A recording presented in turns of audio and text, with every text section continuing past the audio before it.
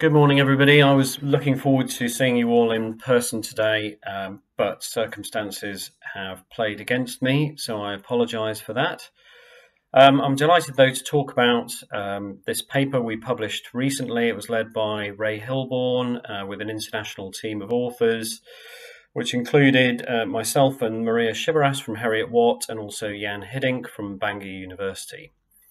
Um, and the focus of the paper was to evaluate the sustainability and environmental impacts of trawling relative to other food production systems. And what we've done is we've pulled together um, some really pivotal uh, global studies uh, that have looked at um, trawl production and fisheries in general um, across a wide range of environmental impacts. So when we're talking about bottom trawling, we're talking about otter trawlers, scallop dredgers, beam trawlers, and also seine nets. So any type of fishery uh, where the fishing gear comes into direct contact with the seabed and the gear is towed across the ground. So we're not talking about pots or static nets.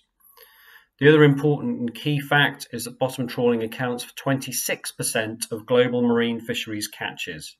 So, roughly about 20 million tonnes of food produced every year.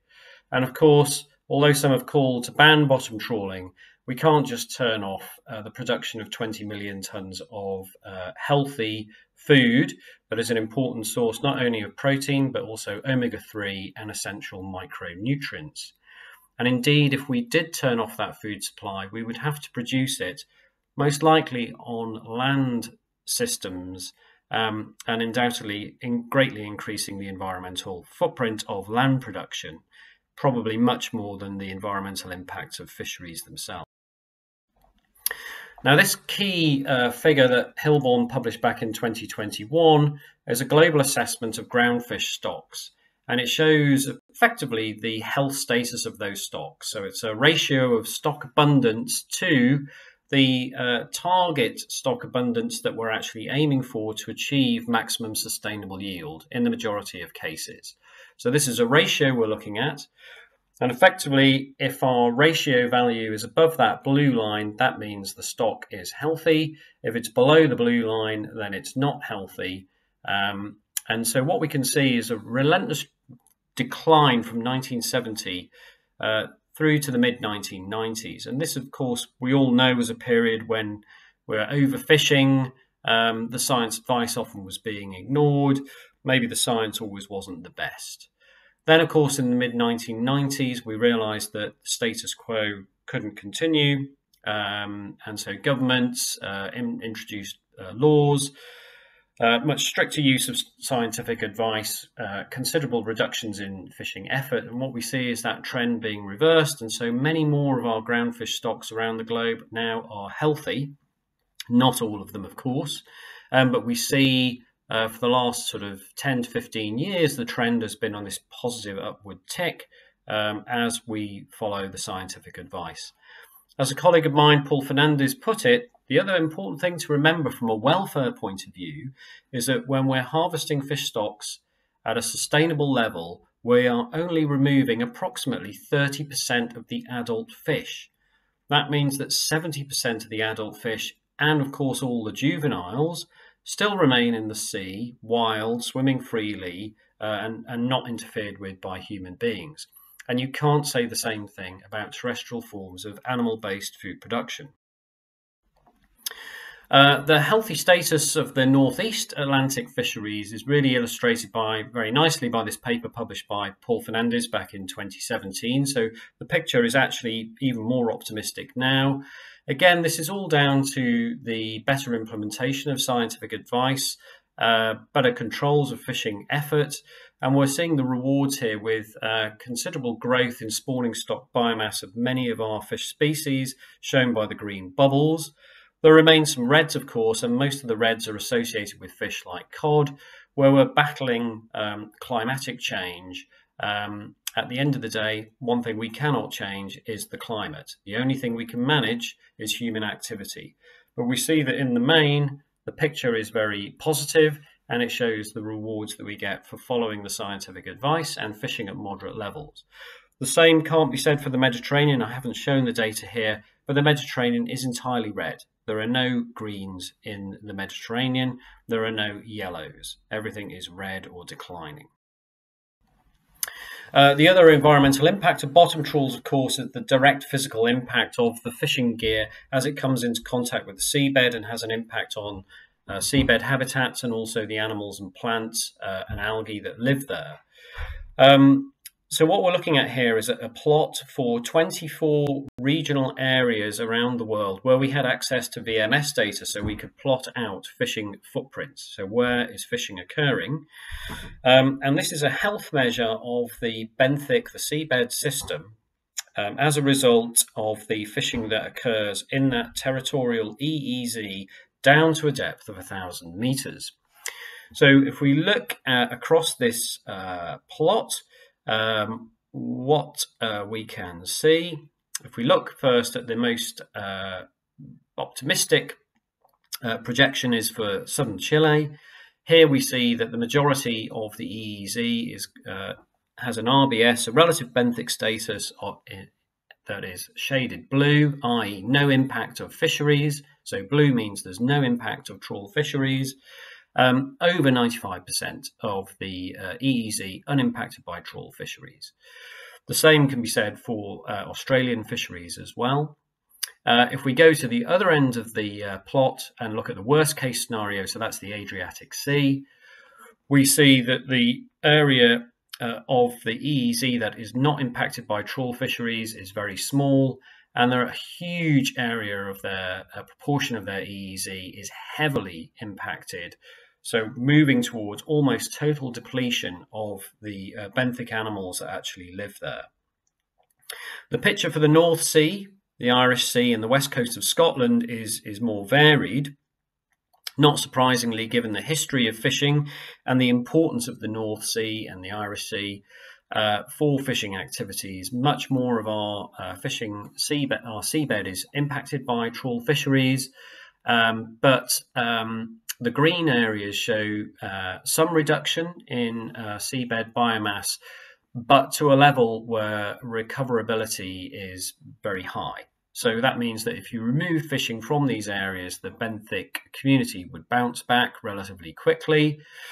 And the areas of red where we have very severe depletion in the North Sea and the Irish Sea are relatively small uh, compared uh, to, to these other very intensively fished areas like the Adriatic and the Skagerrak Kattegat area.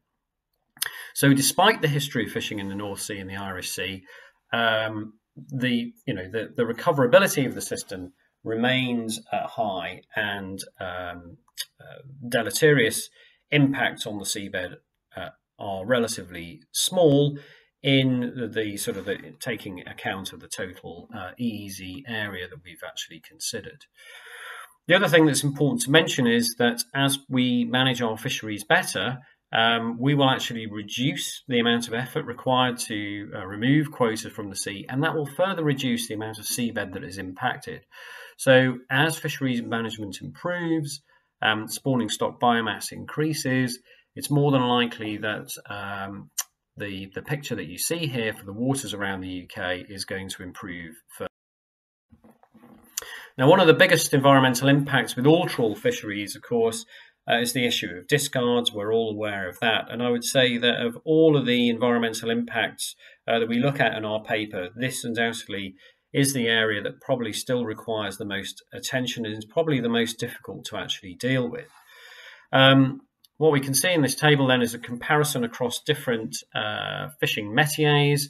Um, we all are aware that uh, purse seine fisheries have relatively low discard rates, it's only 5%.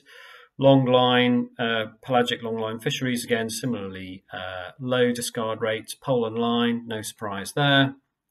When we go to the other end of the table, uh, trawl fisheries for shrimp, um, you know, so that might occur in Northern Europe or, for example, in Australia or Southeast Asia. Uh, it's well understood that discard rates are very high indeed.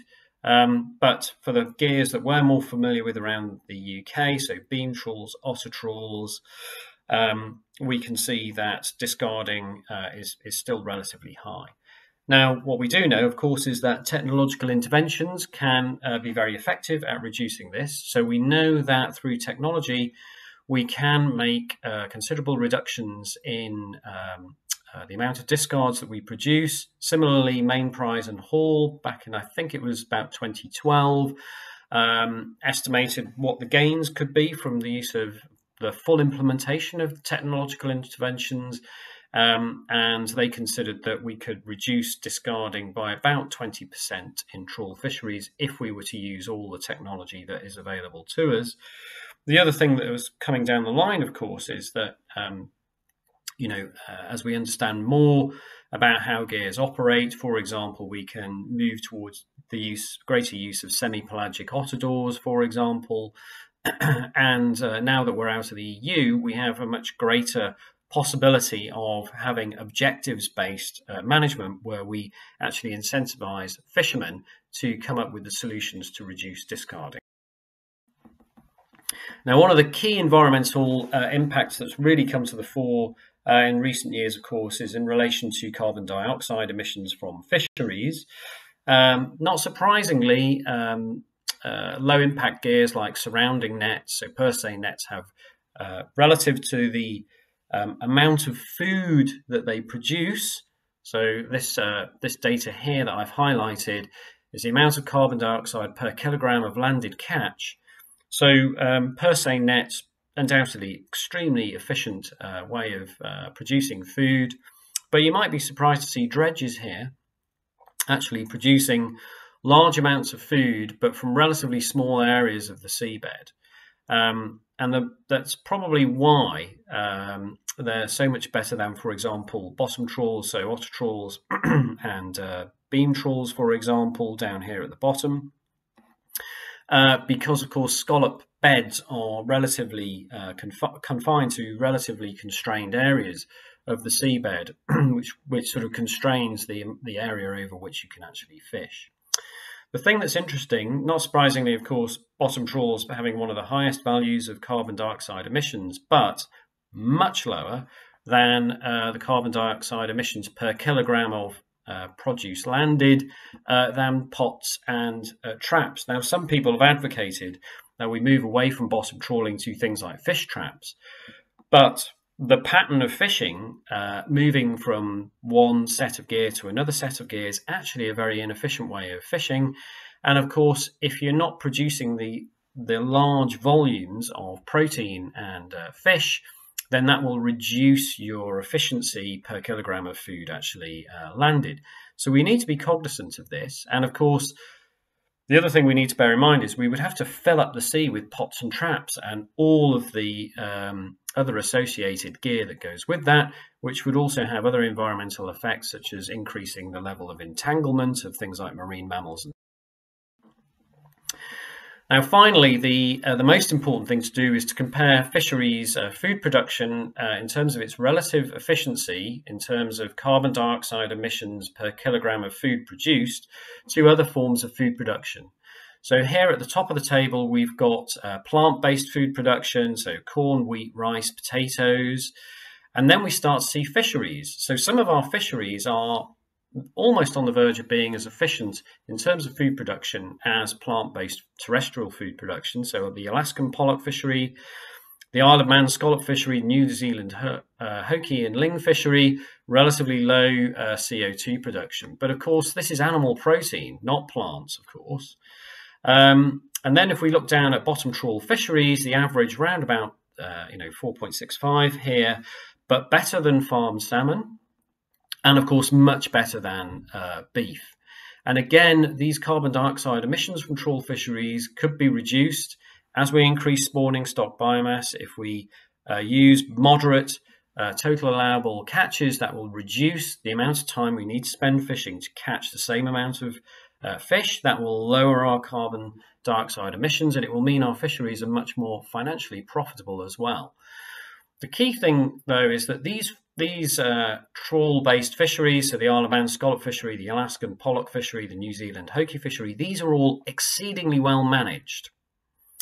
And what, and what that message tells us is that when well managed, trawl fisheries outperform animal for uh, terrestrial forms of animal protein production. And that is a really uh, important. So, in summary, trawl fisheries at a global scale, incredibly important because the amount of food that they produce 20 million tons of uh, food every year. When, when, well, when well managed, trawl fisheries have small environmental footprints on the seabed. So the better you manage your trawl fishery, the smaller its environmental footprint will be across all environmental metrics. Bycatch undoubtedly remains uh, an issue that we need to focus on, but technology is getting better and we can improve this if we implement the technology. And trawl fisheries, in terms of carbon dioxide emissions, are far less polluting than other forms of terrestrial uh, animal protein production. Thank you very much for your attention.